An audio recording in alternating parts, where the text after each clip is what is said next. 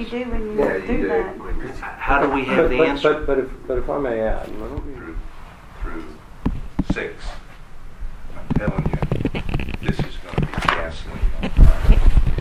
Well, it may be.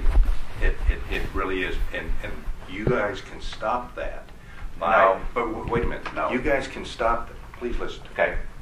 You guys can stop that by answering the question, for example, on the Hudkins deal. That is a huge deal. I can't answer that question. You can if you go talk to the air assurance people. Well. Facts are not just shown by documents, Steve. Facts are shown by talking to people. Well, then- Your, then, your, you your brother has made a life I- of I presenting facts I- I- through documents I and through understand. testimony. I- I- So have I. I, I understand that, you know, what, you know, we answered that in a way that we thought was best for the school board. Uh, I mean, the vast majority of this is irrelevant to whether or not work orders were prepared prior to services rendered. We found that out when we were, we meaning RF&R, found that out when we were investigating what was going on with, with Cisney when he was at the helm. Mm-hmm. But this stuff is, is, I'm, I'm telling you folks, it's going to explode the school district and it does not add anything to your report. This man down here at the end of the table is going to be, he's not going to be able to run a school. That's exactly right. He is not going to be able to run a school. What page did you state that? Starts on page thirty-five. Yeah, I got that. I'm on page thirty-seven. So the shredding of information came from whom? Goddamn lie. Pretty much. The shredding of this information came from whom? Who stated this? It's. Who There's stated several in this? here. Well, Yeah, let's go back to it. but Lansing billing came about for a very simple reason.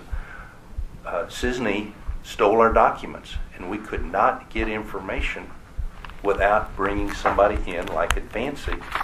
And Advancing came in and recreated the documents. As a matter of fact, most of the documents that Bo has turned over in litigation came as a result of Advancing having their forensic audit uh, or forensic examination.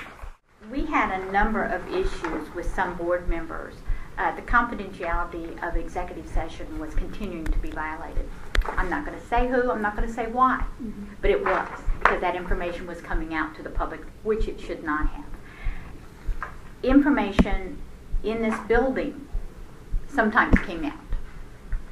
Um, so, yeah, when somebody wanted to view something, yes, ma'am. If a board member wanted to view something that was possible, could be taken pictures of or anything else, yes, ma'am, they will have a witness.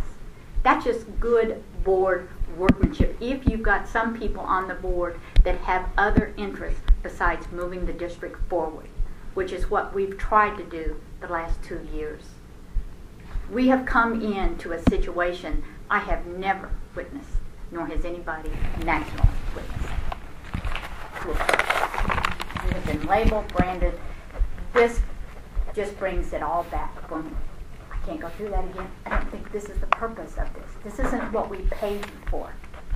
Since I was never contacted, I don't know why it's in here. He seems to be a, a man of uh, a lot of integrity in his work. Very he's, much so. proud, he's proud of his work and he's proud of you all. Or he stepped up Very in, much so. a, in a very public meeting. I just, I just, I'm afraid for your what you guys have put out because a lot of it is slanted one way, and I think from from my perspective, I would be more more objective, um, stating some of the facts because a lot of this stuff is you interviewed the right people. You did do that. You interviewed a lot of great people that are all involved in all this. But I think you've got a one-sided story, and I think that's going to be the criticism that you'll receive. Uh, because let me tell you, in this in this community, they are ready to move on.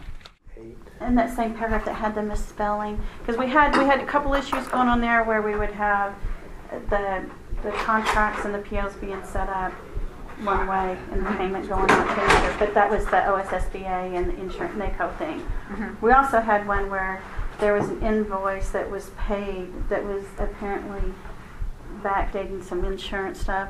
I have I know And it- nothing about, I'm reading all this for the very first time. Right. The reason I know, I do the not- reason I believe that this is all accurate as to the NACO thing is because Knowing how it works. representing other